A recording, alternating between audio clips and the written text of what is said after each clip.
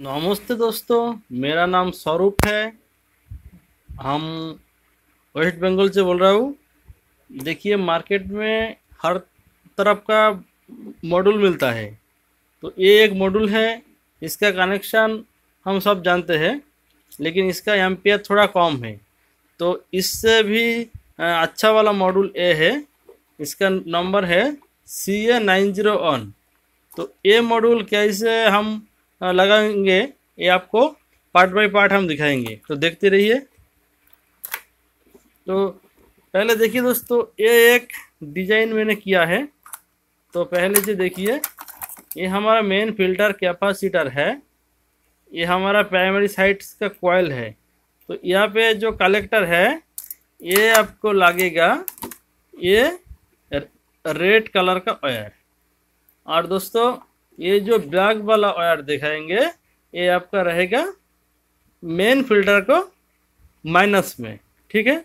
और आपको क्या करना करना है दोस्तों, देखिए, एक स्टार्टिंग सप्लाई और एक कॉन्स्टेंट सप्लाई दोनों जोड़ के यह आपको रहेगा वाइट या ग्रीन तो हमारा यह रहेगा हाइट ये यह लगाएँगे। आप आइए आउटपुट में मेन फ़िल्टर का सॉरी दोस्तों, आउटपुट कैपेसिटर का जो पॉजिटिव है, यह लगेगा हमारा ये येलो और हमारा जो ब्लू है, ये लगेगा आउटपुट फ़िल्टर के नेगेटिव में. तो ये तो दोस्तों, हम थ्योरी बोल दिया. आप प्रैक्टिकल हम दिखाएँगे. तो दोस्तों, ये देखिए, मैंने लगा दिया एक पावर सप्लाई में। तो दोस्तों, हमारा ये यूट्यूब चैनल एकदम नया है तो आप सब्सक्राइब कीजिए। क्योंकि नया नया वीडियो हम यह डालता हूँ तो सबसे पहले आपको मिलेगा। और दोस्तों, हमका जो छोटे छोटे जो विषय है, हम पूरा डिटेल्स आपको दिखाऊँगा। तो देखते रहिए, ये देखिए। मेन फ़िल्टर का माइनस में हमारा ब्लैक वायर और याद रखिए मॉसपेट का डेन में रेड वायर और याद रखिए दोस्तों, ये वाइट हो या ग्रीन हो, जो वायर है, क्योंकि ये मॉड्यूल में कुछ कुछ मॉड्यूल में या ग्रीन आता है कुछ कुछ मॉड्यूल में आपको वाइट आता है, ठीक है? लेकिन मॉड्यूल का नंबर है C A nine zero one तो ये देखिए, यहाँ से आपको स्टार्टिंग और कॉन्स्टेंट दो सप्लाई यहाँ के आपको जोड़ना होगा। और आउटपुट में आके देखिए, यहाँ पे पॉजिटिव में आपको येलो, नेगेटिव में आपको ब्लू।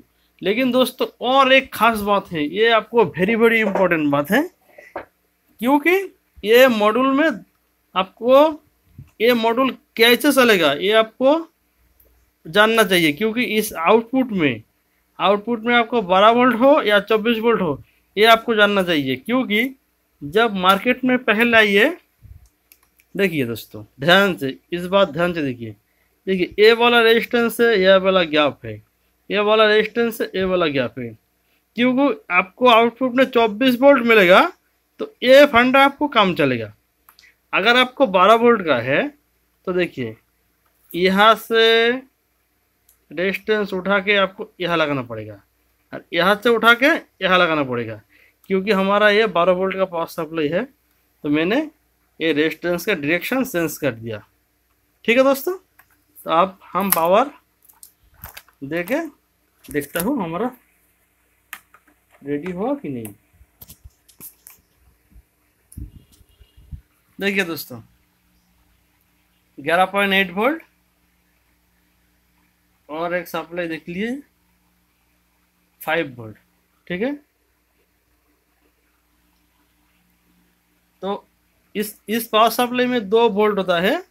एक फाइव वोल्ट एक ग्यारह वोल्ट ये आपको बारह वोल्ट लगभग ग्यारह पॉइंट एट और ये आपका फाइव वोल्ट तो दोस्तों, ये है आपका आज का विषय C A nine zero one तो अच्छा लगेगा तो लाइव लाइक कमेंट्स कीजिए, और हमारा ये चैनल एकदम नया तो सब्सक्राइब कीजिए। नमस्कार, सब सुस्त रहेगा।